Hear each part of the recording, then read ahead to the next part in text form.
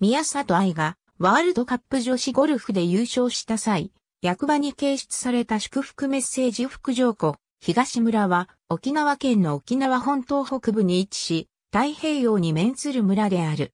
ツツジが村の花とされており、毎年3月にはツツジ祭りが開かれる。ヤンバルの自然などで知られ、県内におけるエコツーリズムの草分け的な地域である。国神村、大宜味村とともに世界自然遺産の候補地である。沖縄本島北部、国神郡の東部に位置する。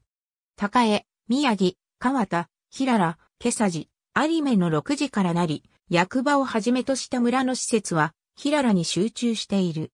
北東部には、沖縄県最大のダムである、福地ダムがある。北部から国神村南東部にかけては、在日米軍の北部訓練場である。村内の大技は、以下の通り。沖縄本島で最も人口が少ない自治体である。村長部局に、総務財政課、企画観光課、住民課、福祉保健課、建設環境課、農林水産課の6課を置く。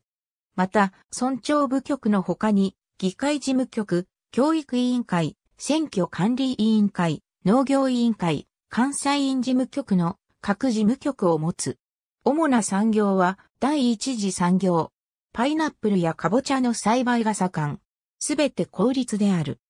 コミュニティバスの運行に伴い、2018年10月1日に村内を運行していた73番前線と78番の村内区間が廃止されたために沖縄本島内の市町村で唯一民間の路線バスが運行されていない。ありがとうございます。